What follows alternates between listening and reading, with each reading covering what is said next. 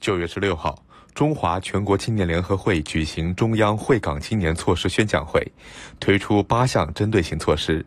涵盖求学、就业、创业、实习等各方面，以促进香港青年融入国家发展大局。一是拓宽了项目的对象，为年满十八周岁的在读或者毕业离校不到两年的香港青年，以及内地高校的香港籍学生。二是扩大了实习规模，计划五年内为香港青年提供一万个实习岗位；三是丰富了岗位种类，实习岗位包括中央和国家机关、中央企业、中央金融单位以及各行业知名企业，几乎涵盖文、商、理、工、农、医等各个专业门类。通过邀请香港青少年来内地学校、企业、社区。乡村一线开展社会实践、文化交流等活动，促进内地与香港青年的广泛交往、全面交流、深度交融，帮助香港青少年开拓视野、增长见识、历练成长。该项目主要面向14至35岁香港青少年，计划在五年内为香港青少年提供2万个赴内地的交流机会。据悉，八项措施还包括。千校万岗，全国大学生就业服务香港青年专项行动实施“创青春”中国青年创新创业项目支持计划港澳专项活动，为香港大学生开放申请中国电信奖学金渠道，在全国性青年科创赛事中优化拓宽香港赛道，开放全国向上向善好青年、钟南山青年科技创新奖等荣誉奖励香港青年的申请渠道，建设粤港澳大湾区青年服务阵地等。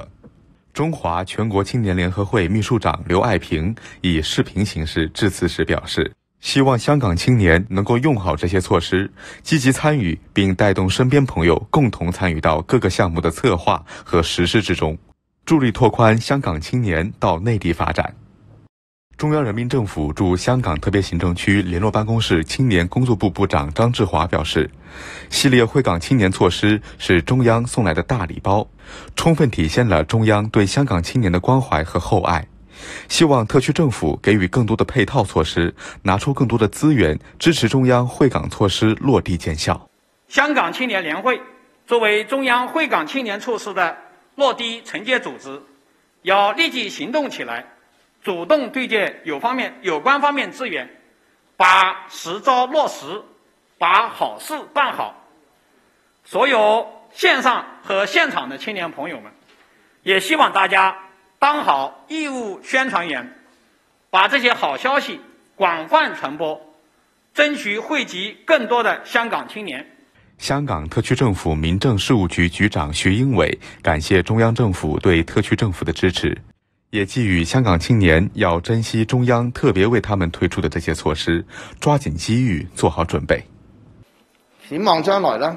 香港青年更务需抓紧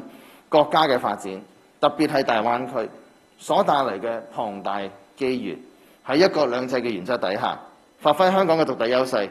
成为有大局思维嘅国民，为我哋国家、为香港。更好嘅长远发展而努力，